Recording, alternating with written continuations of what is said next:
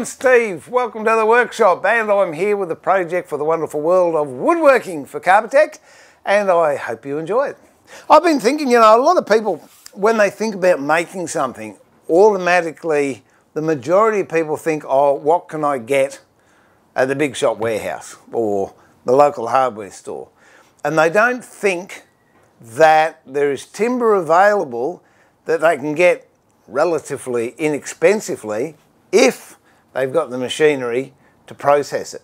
So what I thought tomorrow, I'd go out in my yard that is an absolute mess and pick up a couple of bits of timber that you would, I reckon, bypass. You'd walk past it, wouldn't think twice about it, and you'd be amazed at how well it comes up and how nice it looks. And it might give you an inkling next time you're kicking around a timber yard or out the back or somewhere that you see a bit of timber and go, oh, yeah, I might be able to make something with that. So join me tomorrow when I go out, pick a bit of timber, and we start building a little footstool out of whatever timber I bring in. So I'll see you tomorrow. It's really amazing what you find around the backyard. There's a bulb, but in particular, there's a piece of timber. I'm going to cut about 1.2 metres out of it from about here to here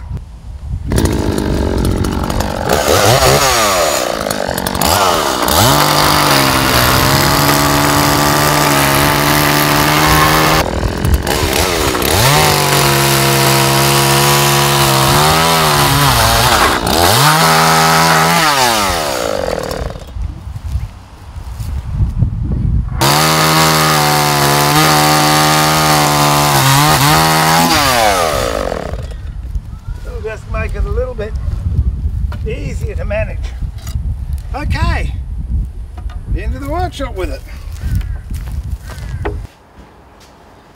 And as you can tell, this is a working workshop and it's messy. And I make no apologies for that whatsoever.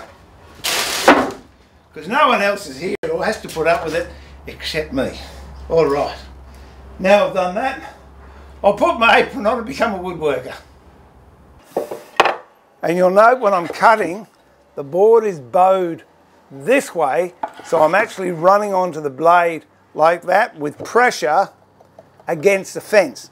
Then when this comes off, this board will be on this side and this will part. Whereas if I go this way and I have pressure next to the fence, when this board's finished, there's an air gap underneath and the board will then drop down on the blade, which can cause a, a snatch or a cut that you don't want somewhere.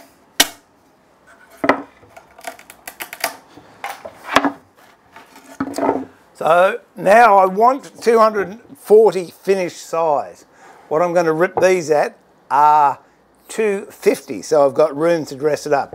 And you'll notice there's a kerfing knife in there because boards like this can jam, which means as I cut, the stress in the timber actually pulls those two boards together in some cases. So when I'm over here, there's no gap between the two boards. There's no area for the kerf of the blade to go and you get a snatch and it can actually throw it back and it creates a dangerous situation. So there's a riving knife in there. I've got the blade just above the timber I'm cutting and I'm up against the fence and the fence is secured. I've set that, as I said, at 250. Dust extractor on, blade on, let's go.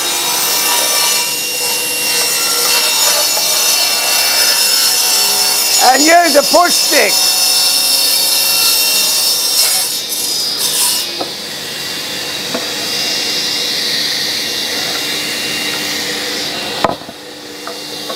From these offcuts, I want two 70 mil strips.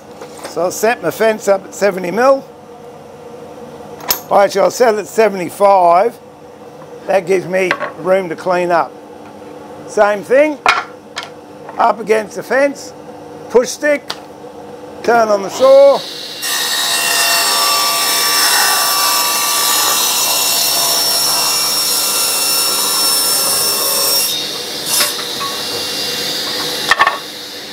And the other one.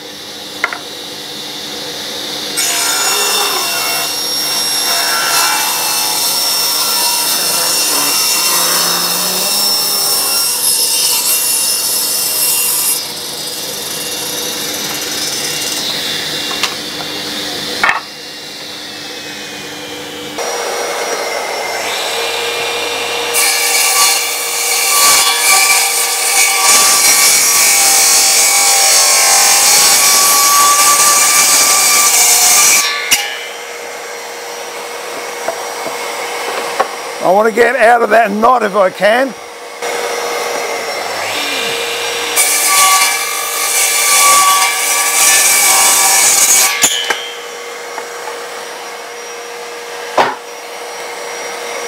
Okay, there's all the components that we've cut up, all oversized, but they do need to be dressed. Now, in this particular case, these two planks here or boards. They're okay, I can do those on the jointer and put them through the thicknesser. But these ones are a little bit out. So I don't know. What I'm going to do, just see if I can put that through the thicknesser actually. If I can, it's going to save me a lot of drama. All right, I, I tried I tried to take a shortcut, didn't work. I thought, oh, I'll put it through the thicknesser and just skim a little bit off the top. But as I really thought would happen, as you can tell, if I turn it side on, it still has a bow in it.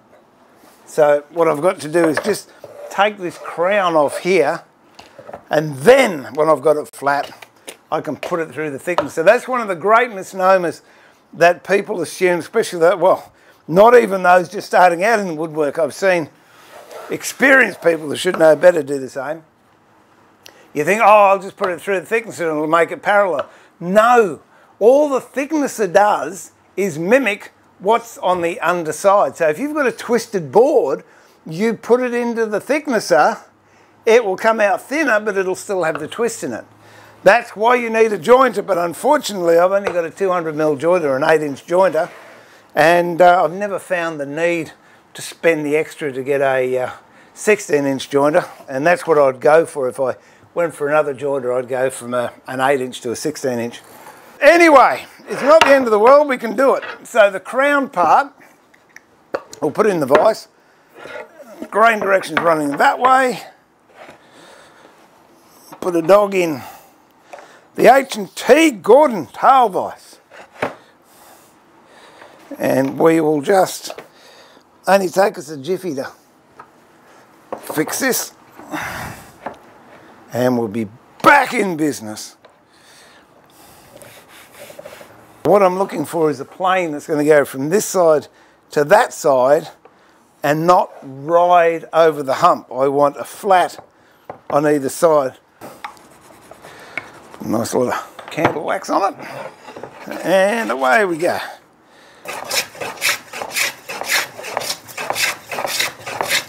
Now if I hold the plane there, I can see I've still got a bit of light coming through here and a bit through here, so a bit more to go. But I'll work my way up the board.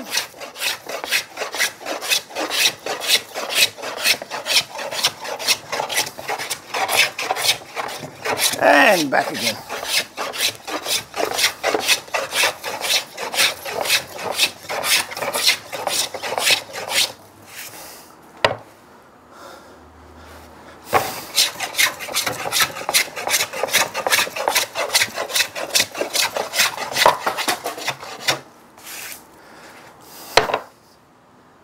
Nearly got it.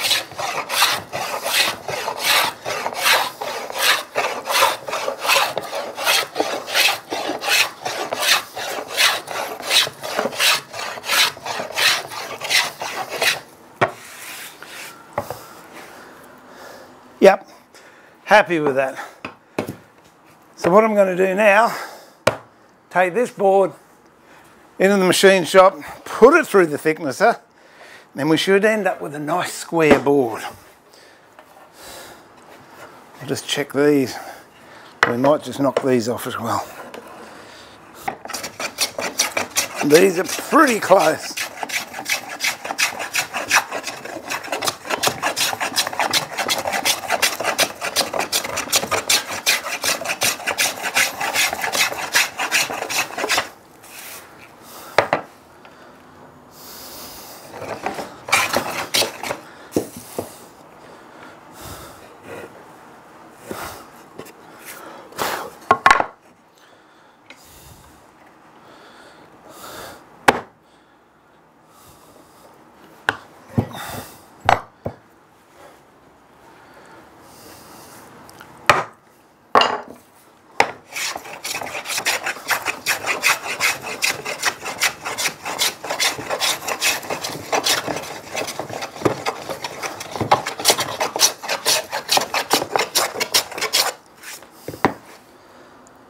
Okay, that'll do too.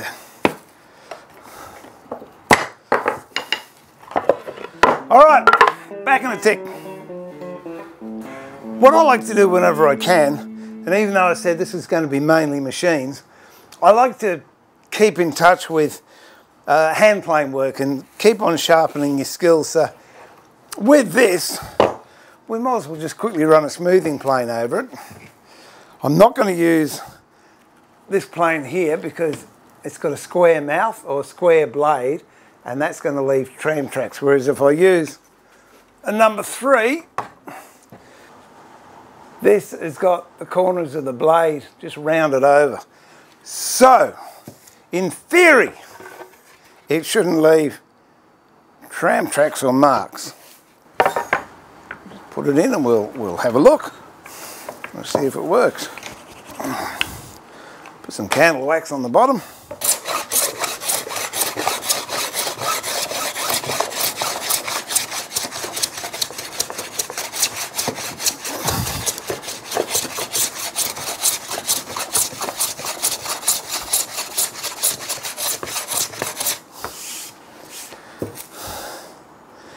I'll just decide which side I'm going to have, that side or this side. I think this can be the downside. We'll have this as the upside.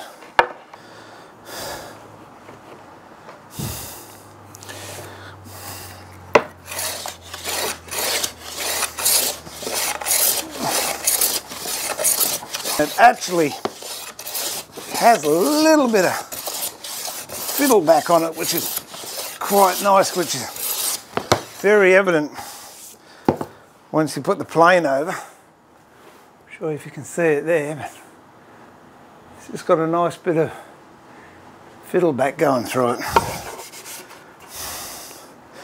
That will do. I want to pick a, a face side and a face edge. So this one's nice and straight. And we'll put that face mark there. So we've got a face mark here. And also I've just shot this on the jointer so I know that that's straight too, so it's square. So when we do any cutting or any measuring, we take it off of this side. So I'll go over and dock this to size. That's now docked to size. Just take some dags that happened off the saw.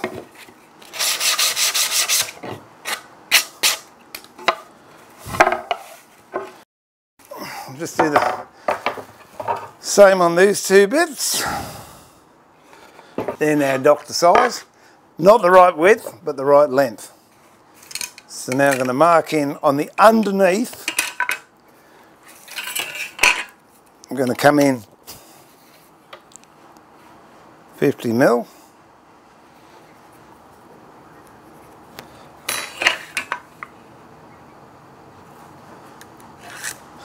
And actually what I'm going to do with this, I'm going to use a dado blade. So I only need one measurement because then once the saw's set up, I do both sides that are going to be exactly the same. All right, and put a dado blade in. Now I've set up the dado blade and as you can see it's a set of several blades put together. So I need a different insert in the saw and really the rip fence is not worthwhile because we're taking such a wide gap out it won't come together and I've got some spare blades that I don't need. This is set at about 17.2 uh, mil and I've got the depth set at 7 mil. I've also lined up the outside of the cut that I want to the outside of the blade. When you're using dado blades, don't rely on the fence measurements because they're going to be out. Because normally, that's where your blade sits. And the fence measurement is from this point to the fence. But now we've broadened it by another 14 mil.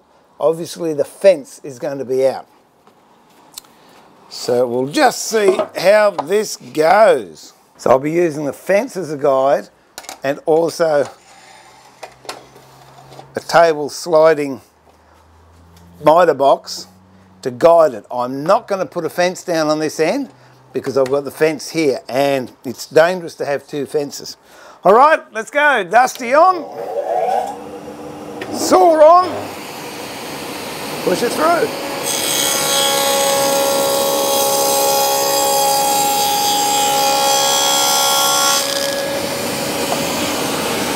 there we have a lovely dado. Turn it around, move it up to the fence.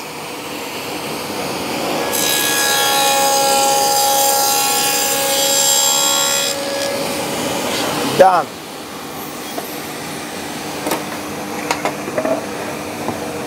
Turn the saw off,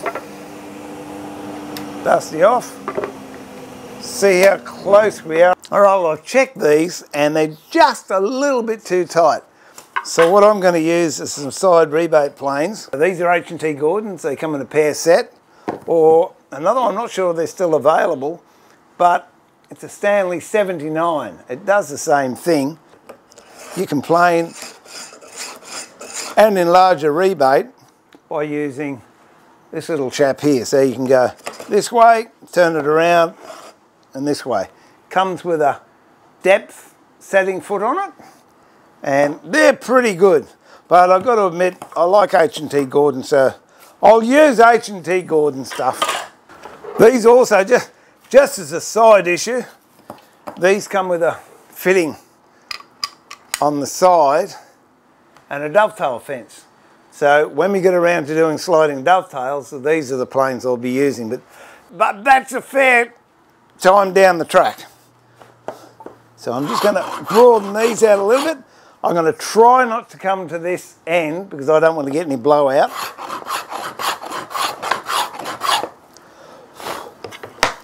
See how we're going. Pretty darn close. And like the other planes, I like having a bit of candle wax. It does help them cut a lot better. We're almost there. So that will do for that one. This end, it's yep, still a little bit too big.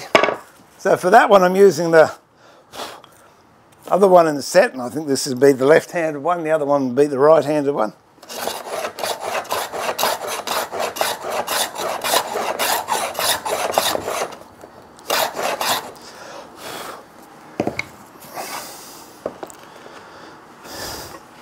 That's pretty good there. So what I'll do, also at this stage, I think we'll look for a top and a bottom. Okay, so it's going to be top outside.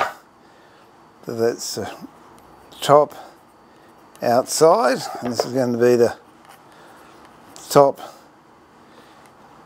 inside. Um, this is going to be left hand side we'll mark here left hand. And this is a right hand. And we'll look at the top and the bottom here. I think we'll have that on the inside. And that is the top. So it's going to be top, inside right hand, and the top here. I might just give that a little bit of a tap. Trouble with these big boards, because I didn't allow it to season, normally what you would do if you were machining this to size, and you saw at the beginning of the video, it was outside, I would rough cut this and then skim it and then just let it sit for two or three days to acclimatise. But what I've done, I've brought it in from the really hot sun, it's about, oh, I don't know, 32, 34 degrees out there. Brought it in here to an air conditioned workshop that's running at 20 degrees at the moment. But the real temperature, I'll tell you what the real air temperature is. 23 degrees, so there you go. Um, and the, the heat's changed, the moisture content's changed, so it will cup on you a bit. And there we have it. And it's gone home nicely.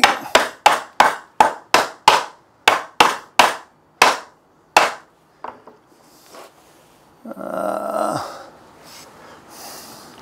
I look down there, that's home on both sides, which is what I want. Have you figured out what we've done yet? It's a stool or a table. It doesn't really matter.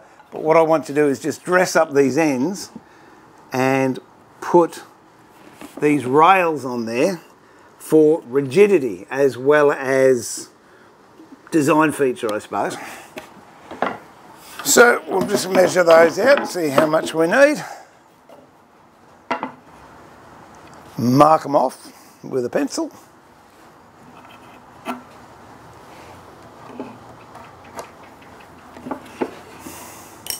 And then we'll go and dock those to size.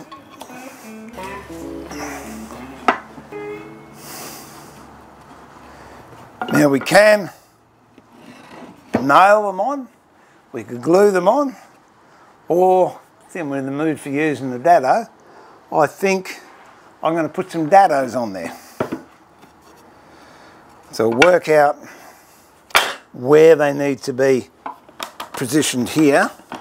And to do that, we've got to get everything home and square.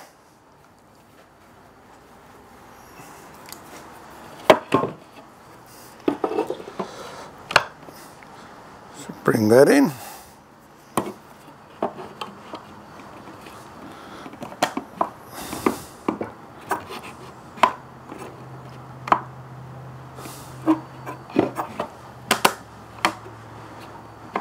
Okay, that's square. That's square. This should be the length of that.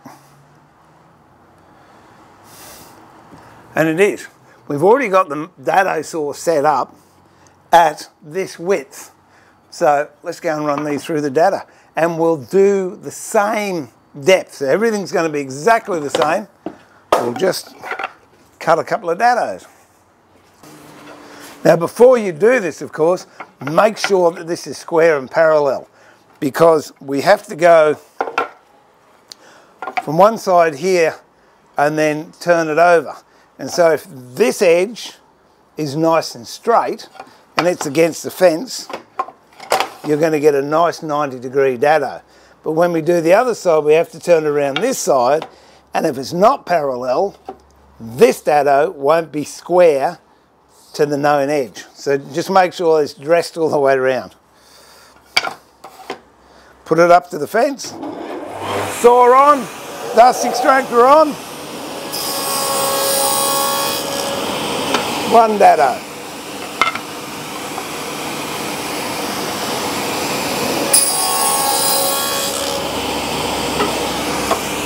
Now because before we were a little bit tight, we should be tight here too, which we are, what I've done is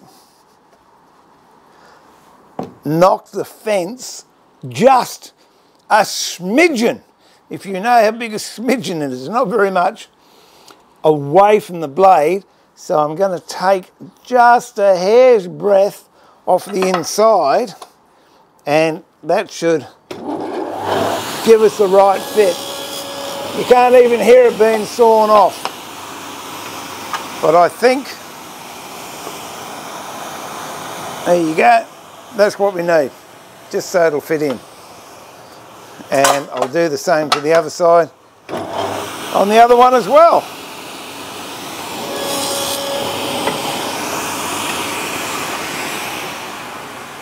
What that does, of course, it just saves us a bit of time.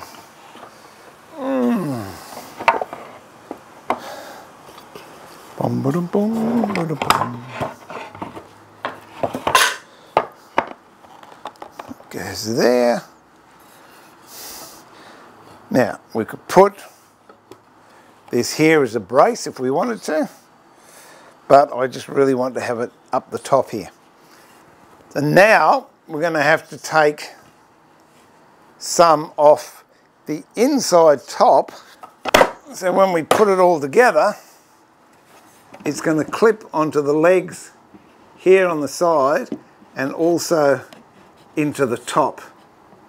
So all I'm going to do now is just mark this part here, set it up so the inside of the blade is just level with that pencil mark. The grip is the thing to have in this situation. Dusty on, and here we go.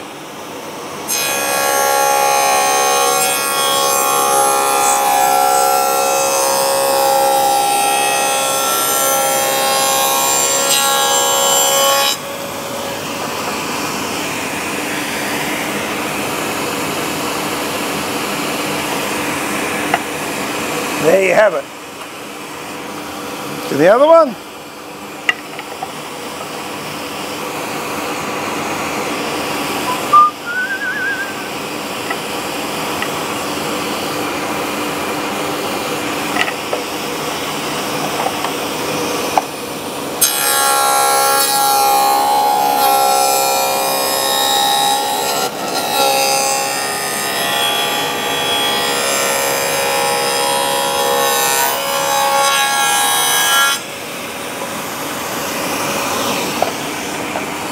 The saw off. Now that locks in there and sits nicely. I don't like this sharp corner. So what I want to do is measure down just below the thickness here. I'll just mark a line down there and we'll take that sharp corner off. And for that I'll just come over to the docking saw and I'm just going to cut that angle.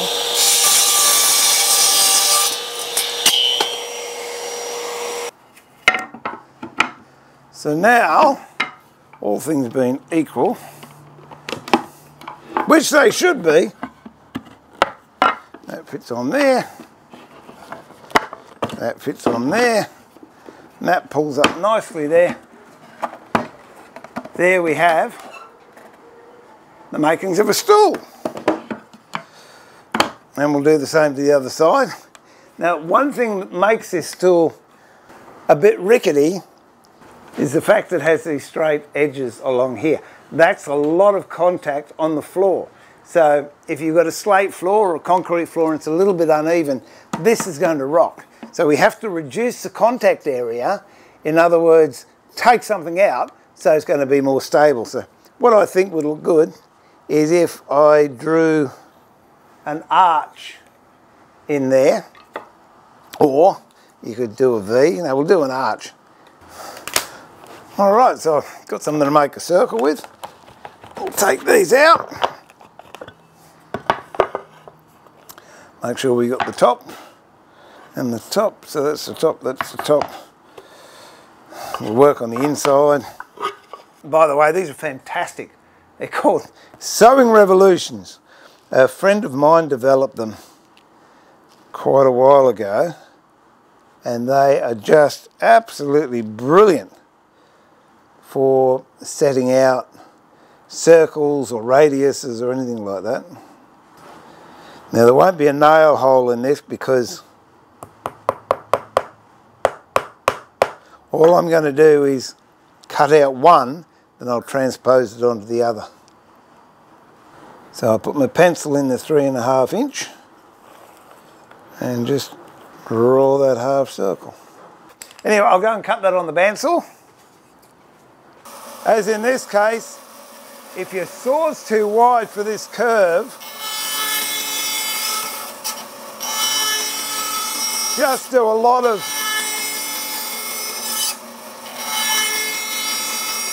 deep cuts. I should change the blade, but I'm too lazy. It's too late in the afternoon.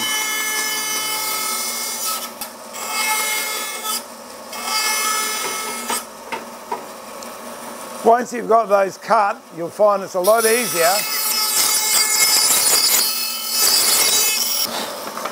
to cut the shape you want.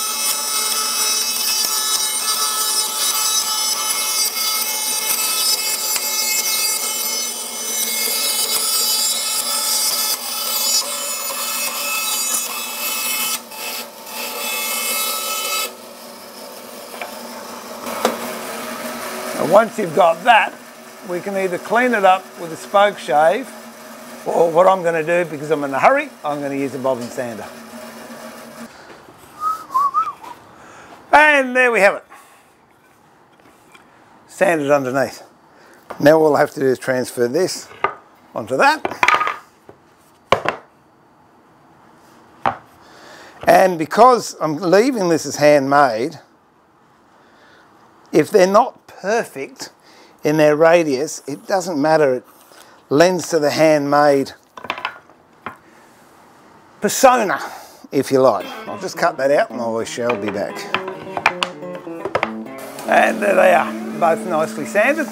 If I was to use a spoke shave on these, instead of sanding, you'd use a round spoke shave. Now that's, these are HNT Gordon spoke shaves. That is a rounded one, it has a round face, and that is a flat one. You might be more familiar with the record or Stanley ones. That is a radius one, and that's a flat one. Either will work fine. Now you've got to go from short to long. So I will start in the middle here and work my way, whoops, Put a bit of water in there to stop it from slipping like it just did. Start in the middle and work your way up.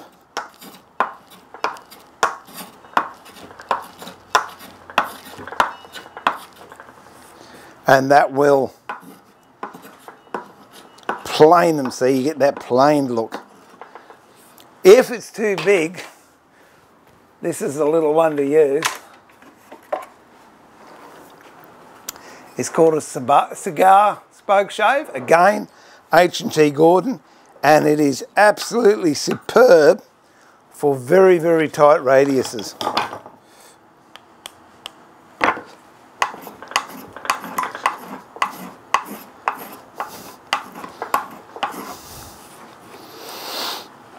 What I want to do also is arris the edges again so it's got that hand hewn sort of feel and look to it.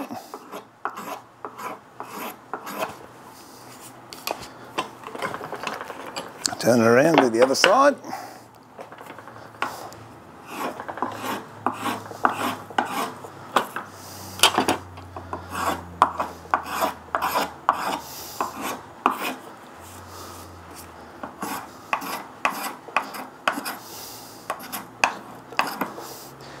It gets that nice, polished sort of look to it when it's come off a spoke shave.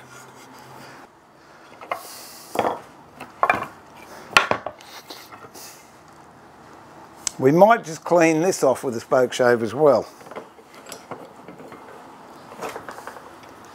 For that we can use a, a flat one.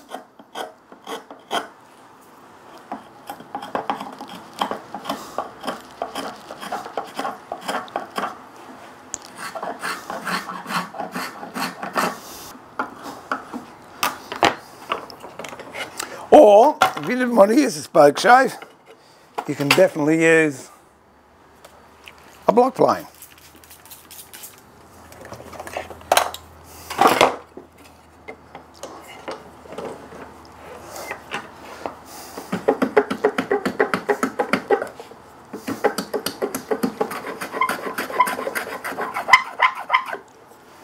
As soon as it starts to squeal, it needs a bit of candle wax.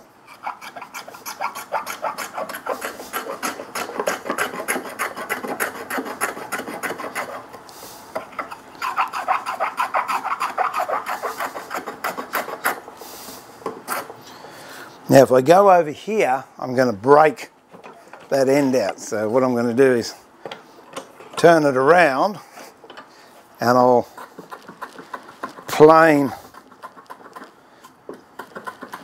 into the timber.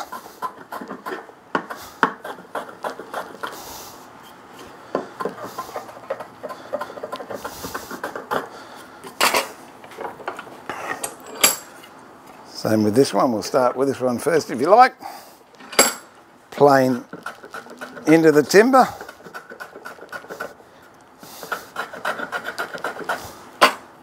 Now that top part's done, turn it around and we can arris it and plane up that mitered face or angled face. Knock off the sharp angles and take the sharpness off on the inside. I'm not worried if I leave plane marks on this because I want it to, you can tell that it's handmade and hand hewn. Now's the time to clean up the legs and the top. I did want this at 240 but really it doesn't matter what width it is. Just make sure we've got clean sides on everything and they're the same width. That one's all right. That's just a bit nasty there. So I might just run a plane over that. Should only take one or two passes.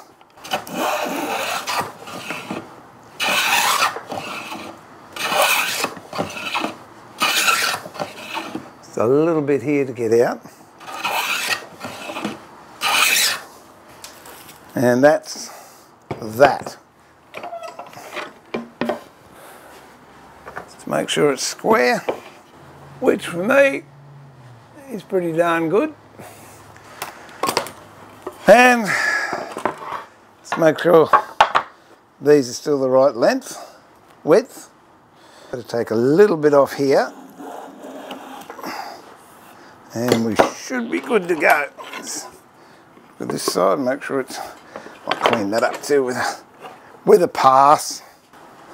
So while we're here, I think we'll take these sharp edges off as well.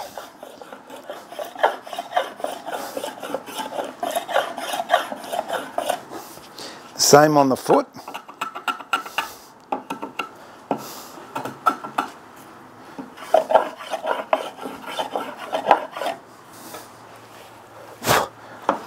There, just a Make sure it's nice and smooth.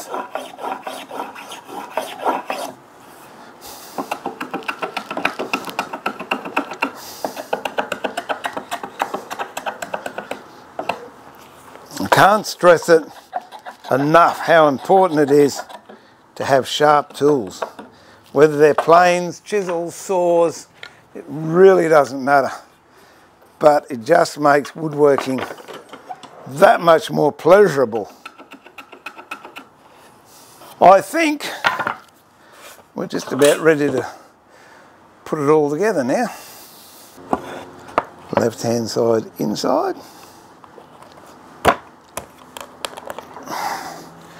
Right hand side inside.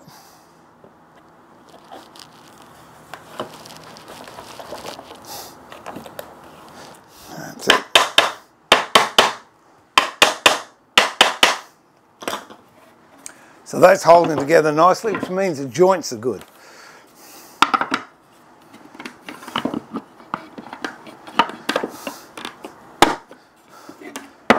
That's sitting nicely like that. Those joints are good. And likewise with this side. So all the joints are good and that's not going to fall apart. But what we will do now, and I really don't know, for effect, I think I'm going to put brass screws in here, but it's effect only. You could nail it, you could put um, hidden screws in it. Yeah, I think brass screws. I'll go and see what brass screws I've got. Well, it's been a couple of days and I've had a look everywhere for some decent brass screws. Can't find them. They don't have them in the hardware shops anymore. It appears all the brass screws are Phillips head and the ones I've got are a little bit too big for the size of this job. So what I've decided is I'm just going to put ordinary screws in there and then I'm going to make buttons to go over the top of the screws. As yet, don't know, might make them out of the same timber or I might make them out of a contrasting timber. We'll work that out a little bit later on. So, because that's what I'm going to do, I'm going to go over to the drill and I'm going to drill holes that are going to be big enough to take the plugs that I'll cut with the plug cutter. So let's go over to the drill.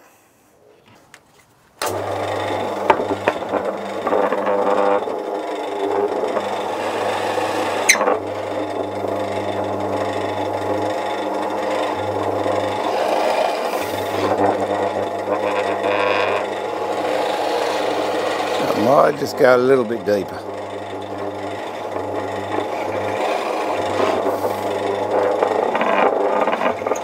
And obviously because I'm cutting into the board like this, it also acts as a countersink so I don't have to use a countersink there to get the screw heads in. They're done.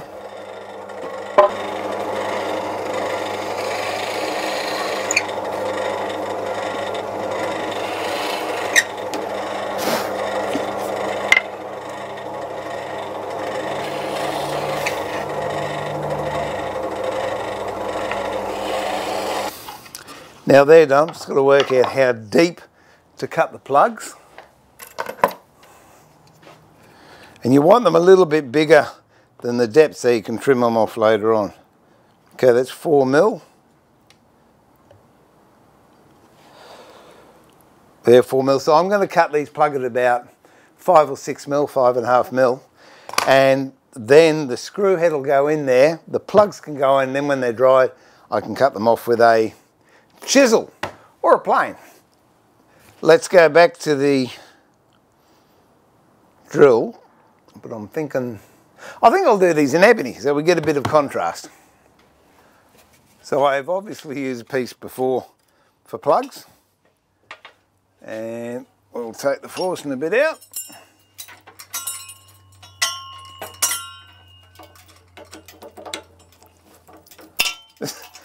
One good thing and one very annoying thing about this drill, it's got a preloaded chuck key, which means if you leave it in, it falls out automatically, which is good because you don't leave it in and turn the drill off. But it's bad because you can't leave it in. So you can't have it every way, I suppose. Anyway. Okay. So that's the plug cutter in there.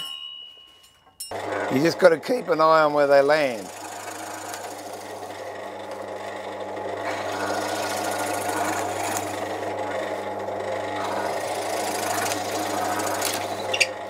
And there you have them. 16 plugs ready to go in. Make sure the hole size is right, which it is. So what we do now is drill the clearance holes. I'm going to be using uh, 6 by 25 gauge, uh, 6 gauge by 25 mil.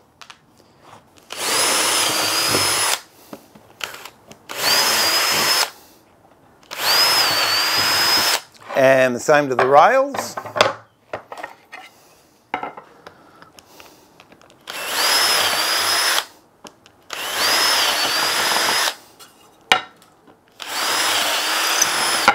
and then just go over it with a chisel and any bits like this that are poking up as a result of the drill bits, just clean them off so you don't have any dags hanging out.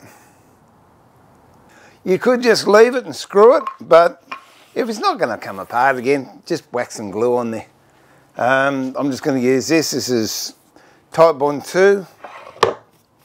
A lot of times I would use hide glue, but a lot of people don't have hide glue. That's why I'm using this. So we just give that a bit of a long there. I'm not going to bother double gluing this one because it's going to be screwed down as well. Make sure it Make sure it's home.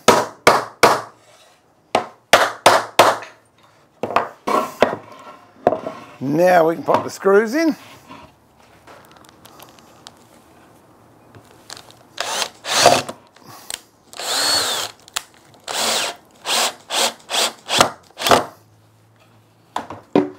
So now we can put the side rails on and might as well put a bit of glue on them as well I guess just a little bit. Not too much because the screws are going to do the main job, but it's just insurance if you like.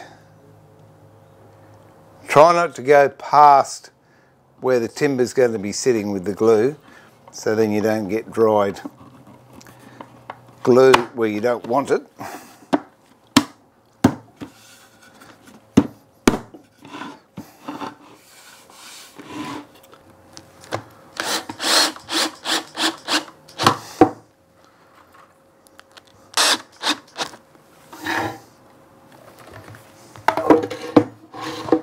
the last side.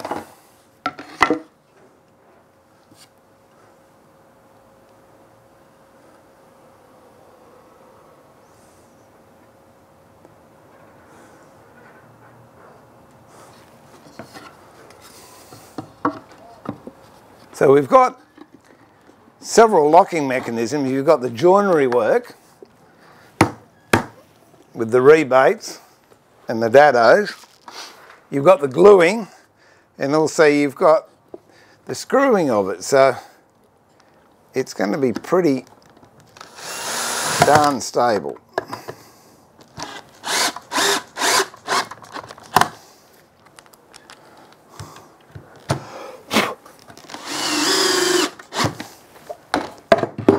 And there you have a really nice, stable footstool or foot stand or whatever it is you want to use it for.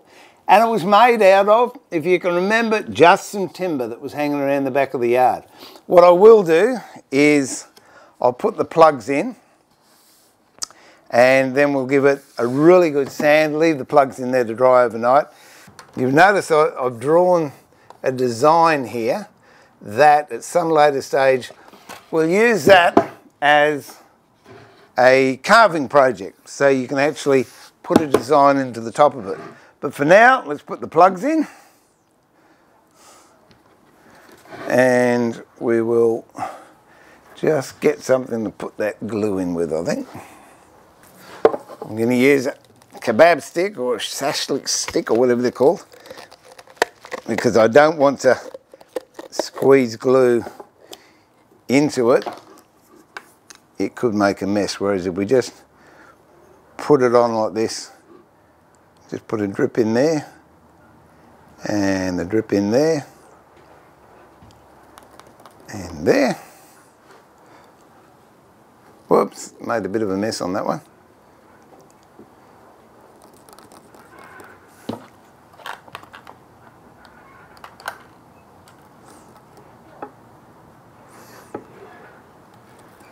There we go. Take that off. And we will just tap these in. I would like to have the grain going in the right direction, but unfortunately, I haven't got my glasses, strong glasses on, so I'm guessing it.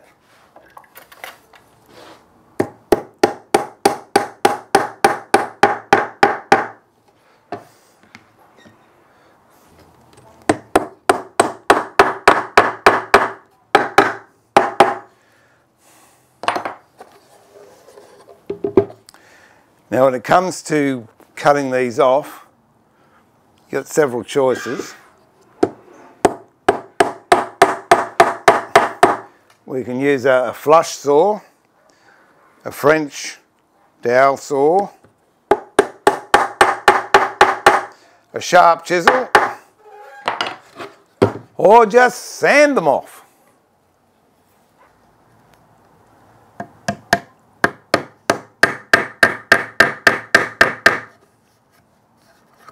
And there you have it, all the plugs nicely in. And what we'll do tomorrow, come down, plane any bits off that need planing. We'll take these uh, tops of the plugs off, give it a coat of oil, and see how she comes up. So now these are nice and dry. Just got to take those off, get it flush, give it a good sand, and then some oil and we'll see how she comes up. Several ways you can do it, as I said before. This is a flush saw, and as you can tell, it can saw flush to your job. This is a French version of the same thing. So there's no kerf on the outside, and you can just saw off like that. The other way you could do it would be with the chisel and give it a knock. What I've found to be the easiest way is just a block plane. The reason I wouldn't use a chisel on this is I can't quite see which way the grain's going and the ebony is pretty tough. And because it's not very deep, if I hit it with a chisel, I can run the risk of tearing out part of the plug from the top of the job. So block plane it is. Finally set. And we just laying off the top until we get down to the lid or the, the top of the stool. It doesn't take that long. As I said, this ebony is pretty tough, but we're almost there now. And there we go. We're down nice and flush. So we'll just do it to the rest of them. And we will be good to go.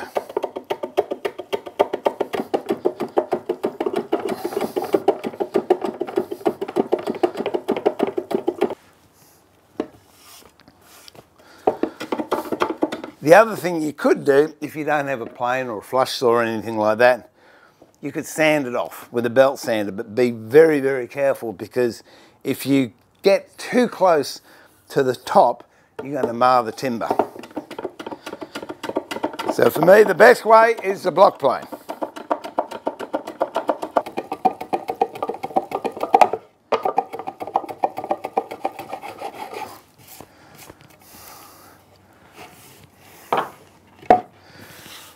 Next thing is I'm just going to even it all out, then we'll sand it. But before we sand it, these pencil marks I put on because I thought I might do some carving and the pencil lines I've got here to mark out where the drill holes went, take them off first with an eraser. Don't try and sand them off because if you try and sand pencil, what you actually do is force the graphite deeper into the grains of the timber and then you end up getting undulations there because you're trying to sand the pencil out and you're actually pushing it in deeper and deeper.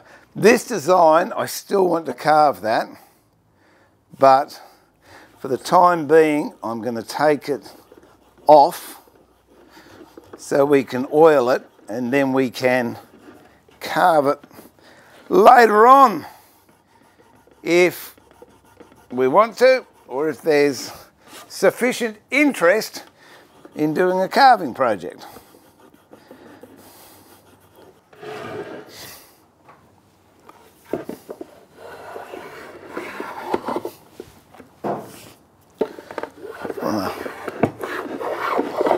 plane up there, make sure it's nice and flush. And I'm just going to knock an arris off the corner there, which you could do with sandpaper easy enough. But if you've got the plane in your hand, you might as well use the plane. Same on the other side. Remembering to go with the grain. so you don't get tear out. And uh, blackwood is pretty notorious for tear out.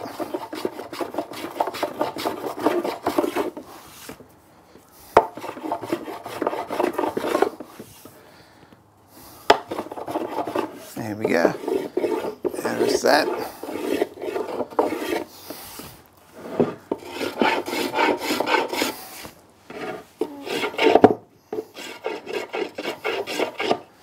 On the ends too. All right, now we'll give it a sand and we'll put some oil on it and it'll be good to go. I'll start with 100 grit.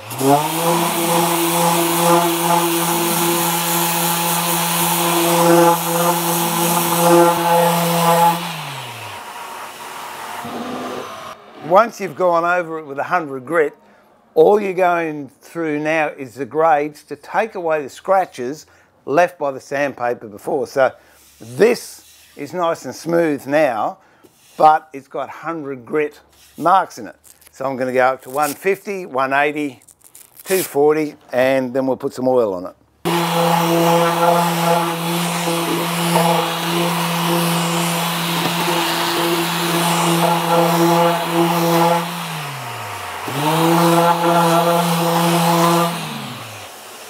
Okay, that's it, 240. Rub your hands over it. If you find a couple of spots where the sander couldn't go in, just get a bit of 240 and just take any sharpness off that you might feel there. Okay, now that's all done, let's put some oil on and we'll see how good it looks. What I'm using is tung oil, uh, only because it's a lot thicker and it'll go on and I need less coats.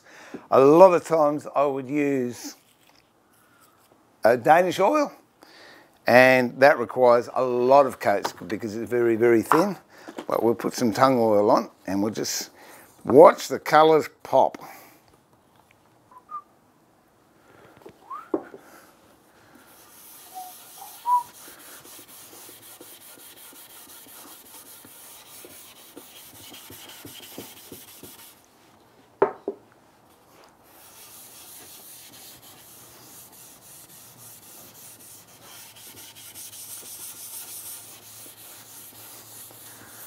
And I'm pleased to say those buttons don't blend in with the timber that I'm using. You can see they're quite pronounced there.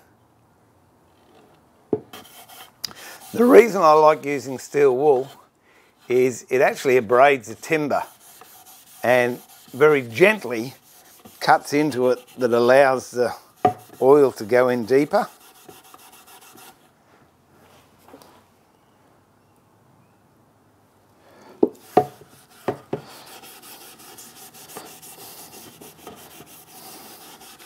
Normally tung oil is, is clear when it comes out of the can, but I've had that can for quite some time and obviously some wood shavings have got into it, which has discoloured it a little bit. But when it goes on, it's clear and that's what we're looking for.